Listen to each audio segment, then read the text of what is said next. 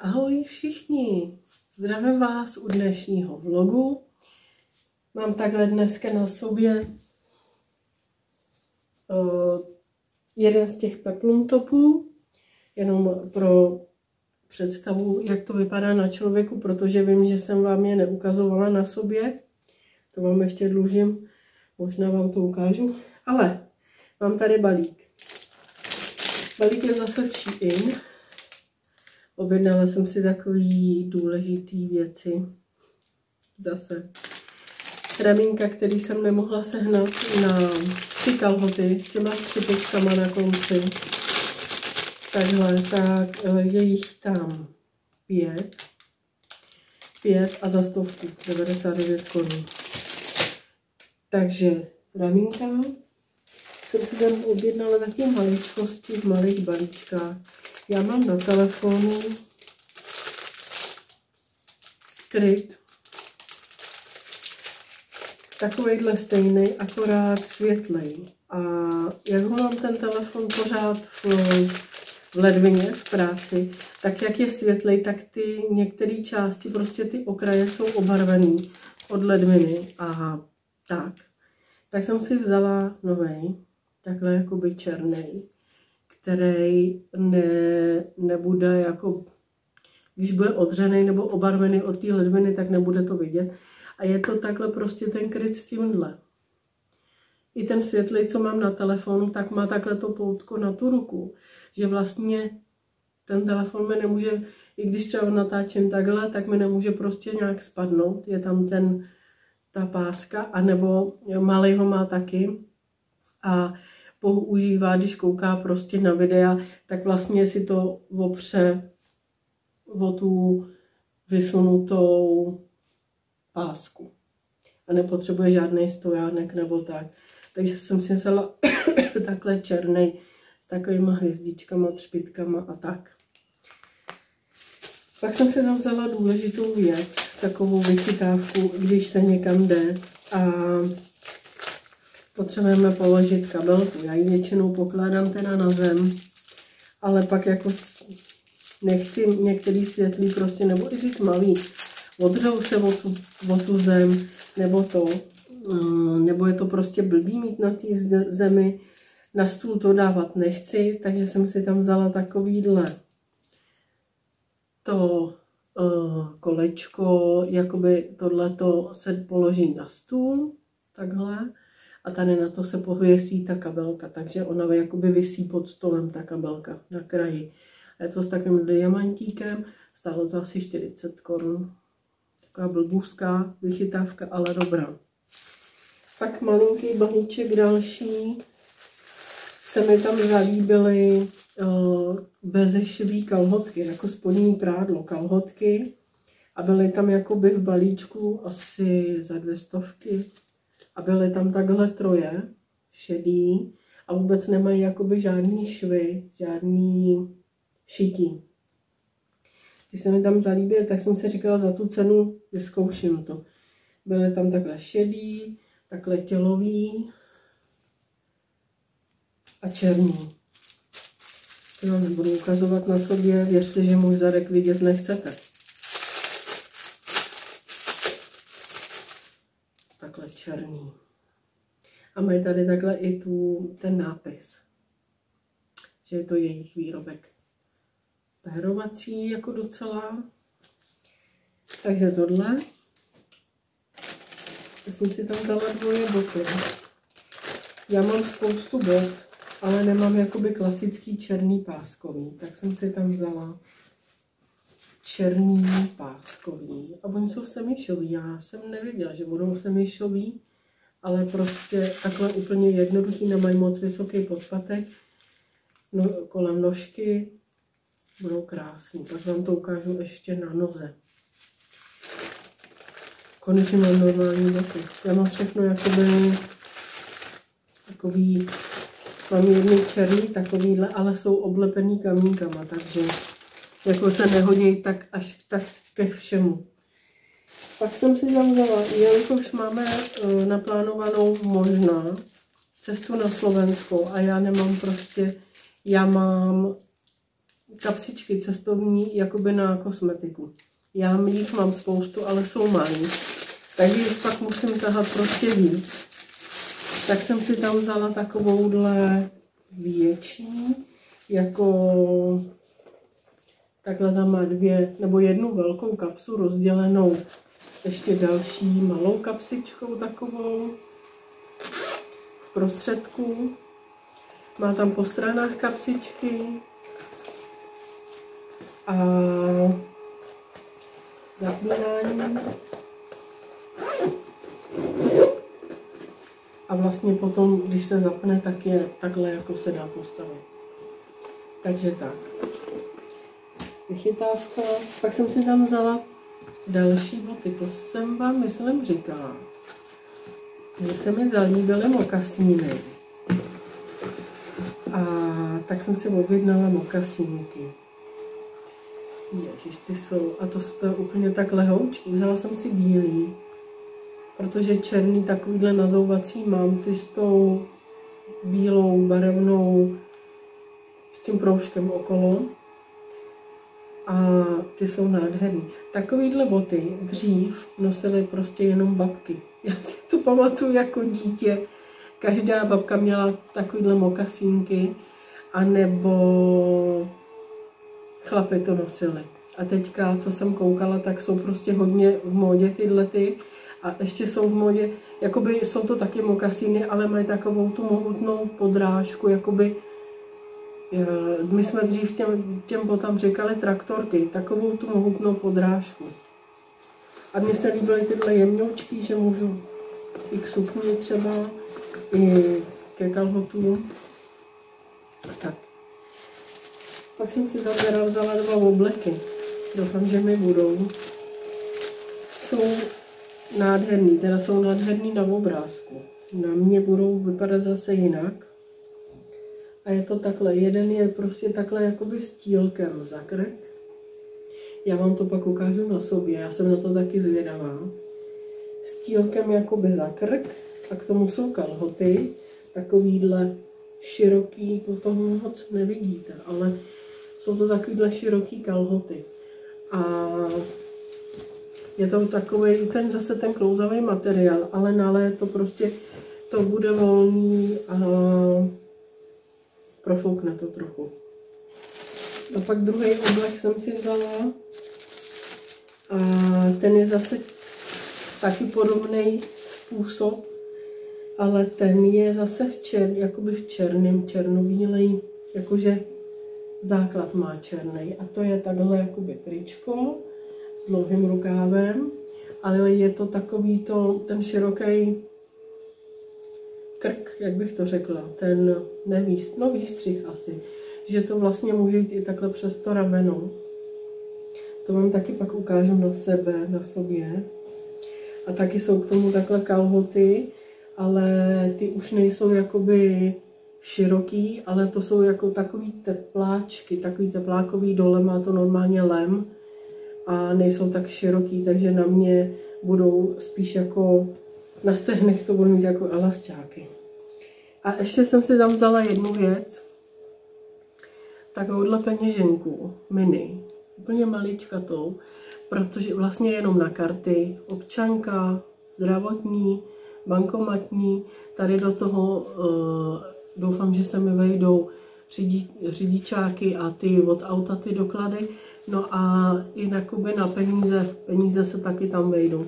Protože já kolikrát mám takovou kabelku, že se mi tam nevejde absolutně nic, ani vzduch, takže prostě potřebuji mít sebou nějaký doklad a nějaký peníze. takže takovouhle maličku. No to je všechno. Tak já teďka vyzkouším asi jenom ty boty, protože za chvilku jedu Uh, my jsme byli teďka ráno u zubaře s prckem, jsem byla, teď v půl desátý, v deset jsme vyjeli, teď jsme se vrátili v jednu hodinu a za chvíli, za hodinu jedu zase s tátou, dělají mu náhradní zuby, takže furt chodí na ty otisky a na ty zkoušky a tak. Takže zase jedu, ještě, že máme uvařeno ze včerejška. Takže já teďka vyzkouším jenom, jenom ty boty vám ukážu a ty, to oblečení vám ukážu, až se vrátím. Takže takhle jsou první nohy, boty teda, ne nohy.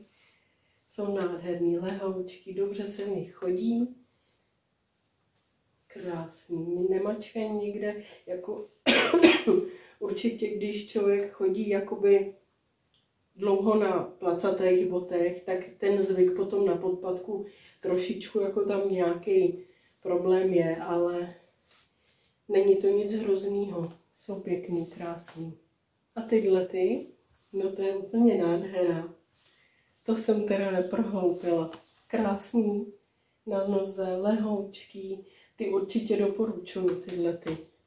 Kdo nemá rád podpatky, tak místo botasek takovýhle botičky. Odkazy budete mít zase dole pod videem. Ještě vám teda takhle ukážu ty soupravy. Jdu takhle dál, abyste viděli. Ale to je úplně taková nádhera. Prostě je to na gumu, nemačká to na bůčku nikde. A tahle teda je takhle jakoby spíš jako teplákovka s kratšíma s těma tří čtvrtečníma rukávama. To se hodí. Ale já už to úplně vidím. Bílý botasky, bílou kabelku k tomu. Paráda. A teďka teda ten druhý. Tady jsou trošku delší kalhoty, tak je mám takhle vytažený nahoru, aby mi to tady nevyselo. A ty nohy, ty nohavice, aby nebyly úplně na zemi, jakoby oni stejně jsou, no to bych musela mít podpatky, abych to netahala po zemi. Tady je mi to trošičku volný, ale to mě přes ty prsa prostě je vždycky všechno takhle, jako že mi to nesedí. Ale vzadu mají takový dva knoflíčky, parádní. A zase je to prostě na to léto, jak jsem říkala, je to takový dobrý materiál, profoukne to. A je to parádní. Akorát potom teda musím zasunout, spojit vzadu tu podprsenku, aby šla jakoby pod, aby se mi vzadu skřížila na zádech a tady, aby mi to prostě nebylo vidět. A jinak parádní. Já mám vždycky takovou radost těch nákupů, eh, když mi to je hezky, když je to něco prostě, co mi jakoby sedí i podle toho, tady ty dva obleky mi sedějí i jakoby podle těch fotek, oni ty, ty modelky jsou hubený, to je jasný. Já mám prostě ve všem břicho a vždycky ho mít budu ve všem. A, ale tohle mi sedí, to nějak jako mi nepřekáží, nebo ne nepřekáží, nevadí mi to, že tam mám vidět to břicho, je to takový pohodlný a už se těším, až to vytáhnu v létě, nebo v létě. Dneska je jako v létě. A tam to, to druhý, to černý, to spíš taková ta teplákovka, to bude, ve středu má pršet, takže uvidíme, jaký bude počasí. Bude to spíš jakoby takhle do těch chladnějších dnů, ne úplně do horka, ale tam ten bílej s tím tílkem, to je prostě úplně do horkýho dne. Takže se na to těším, až to vytáhnu.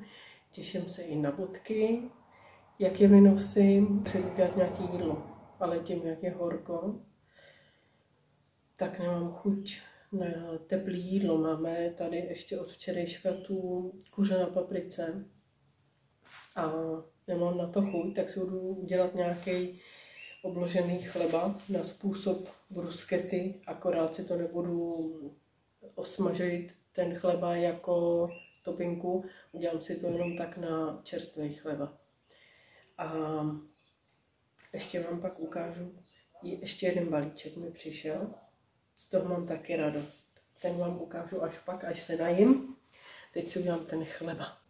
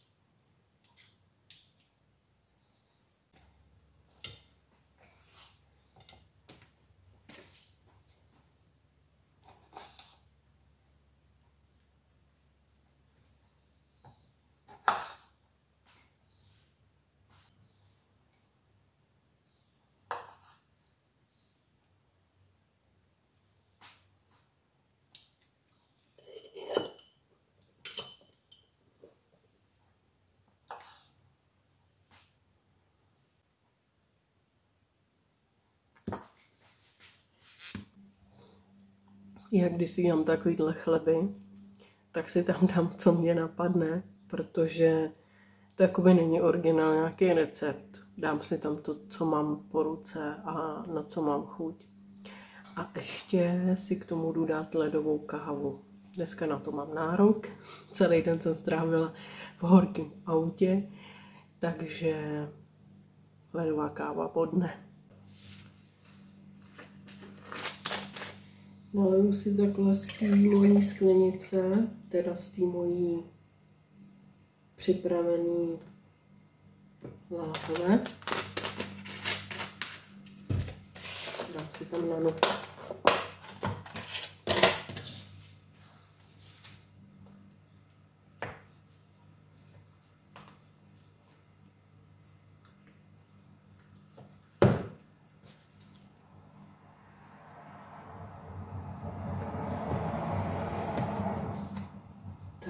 dopřeju si zmrzlinu.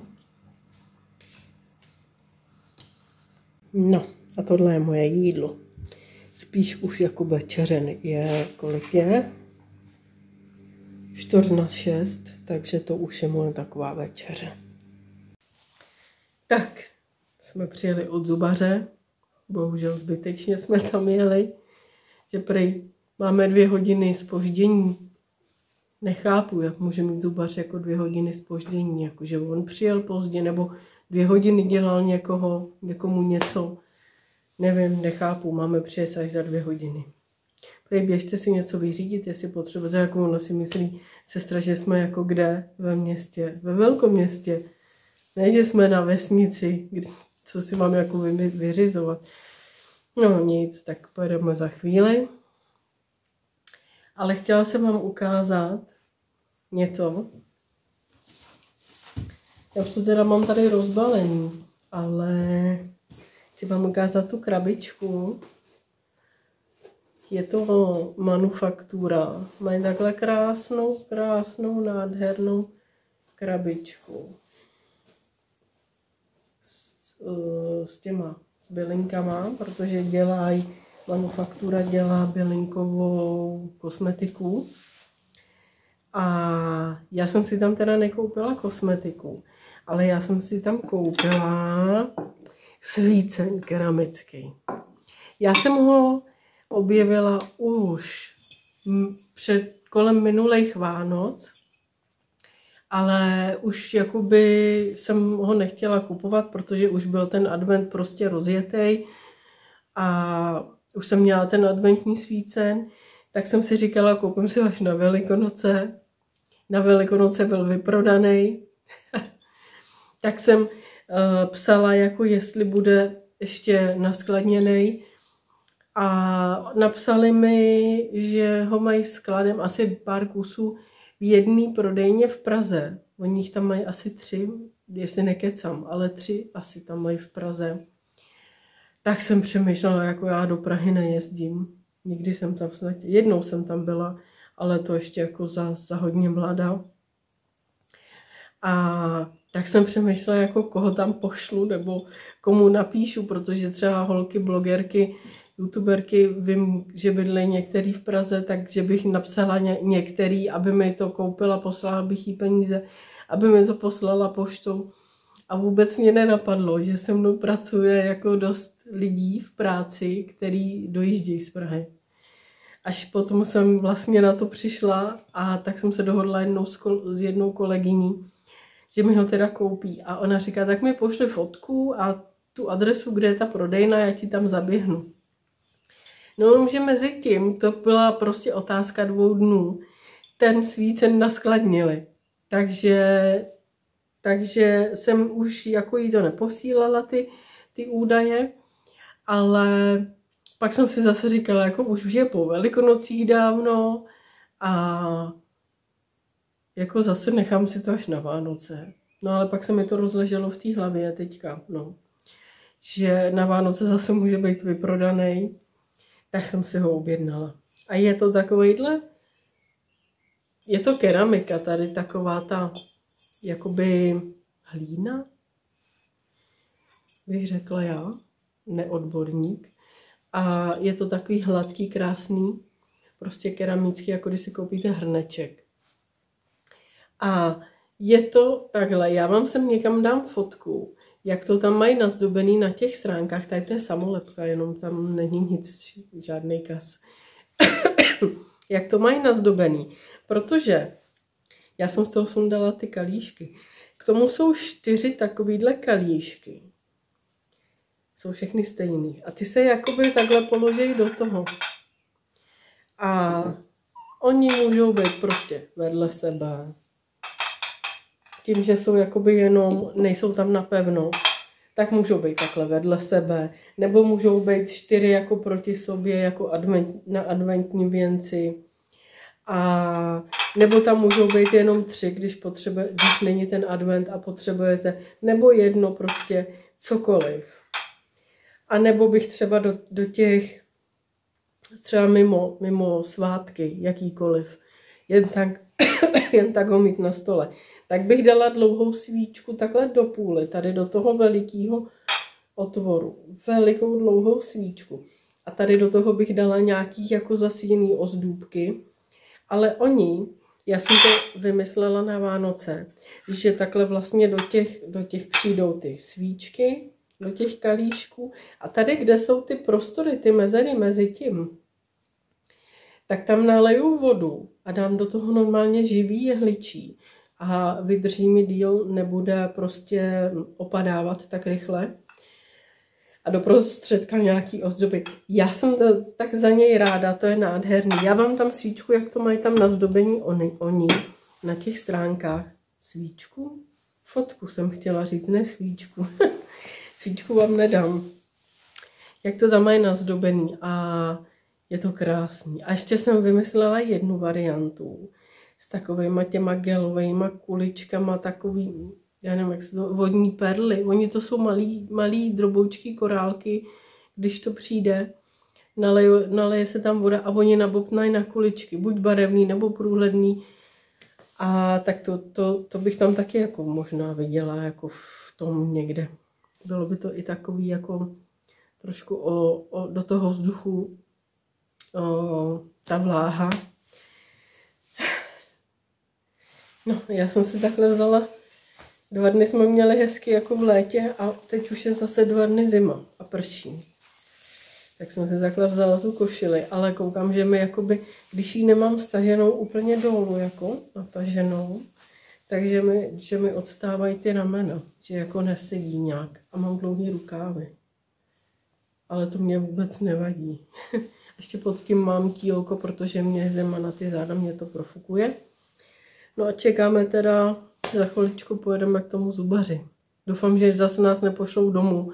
Já ho tady zbytečně dopuju práškama, kinedrilem. Jemu je špatně, jak mu tam strkají ty různé věci do pusy, tak nám doporučili kinedril a stejně mu to pomáhá. Nebude. To znáš.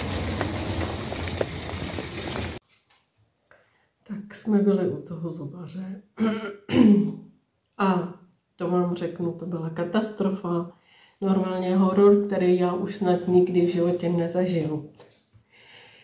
Normálně půl hodiny mu vytrhávali nebo vy, vyvyklávali zub, protože to byl, to byl vlastně už nový zub, jakoby stálej jenomže on jak byl skažený byl, měl kas a byl obroušený jakoby až k té dásni, že už nešel vyvrtat a zachránit prostě blombou nebo, nebo tak, tak musel ven. S tím, že se mu vlastně ty zuby, které teprve dorostou, že se mu zařadí mez, místo něj a nebude tam mít mezeru. Jenomže prostě to byl jakoby zdravý, ne, ne zdravý, ale nehýbací zub, tak ho museli vyvyklat, aby šel ven. Půl hodiny. Tři injekce dostal. Sestra mu musela držet hlavu. A doktor prostě už odpočíval, už ho bolela ruka. Normálně půl hodiny.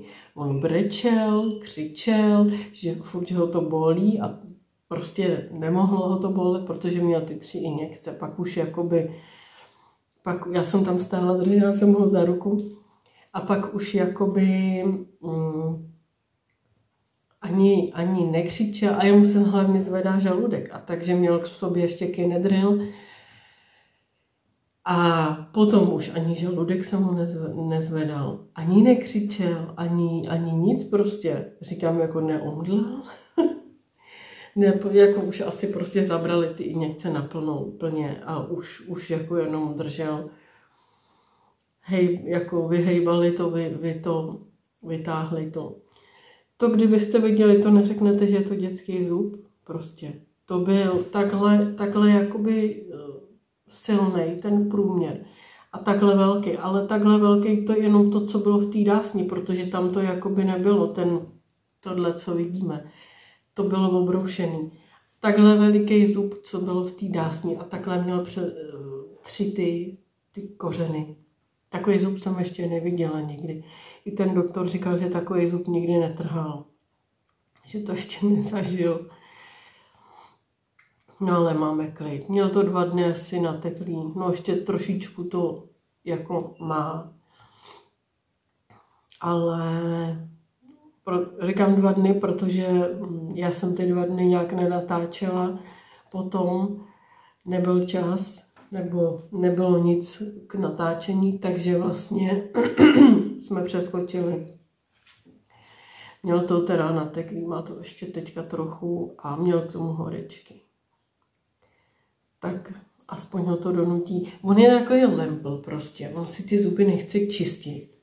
Ani ráno, ani večer. Vždycky, a já jak chodím brzy, my chodíme do práce jako od pěti, takže on má udělaný budík, vstává sám a já mu pak jenom zavolám, jako třeba, že má už jít do školy, nebo, nebo když jsem tady poblíž, tak přijdu, vyprovodím ho. A vždycky se ho ptám, fouknul jsi si, jo, a čistil si si zuby, jo, jenomže když tady nejsem, že jo, tak ho nemůžu zkontrolovat. Také lempl, ale teď ho to donutí. Teď už, eh, teď už se ptá, už si můžu vyčistit zuby, říkám, ne, ještě si to nechvíli, je to rozdrážděný.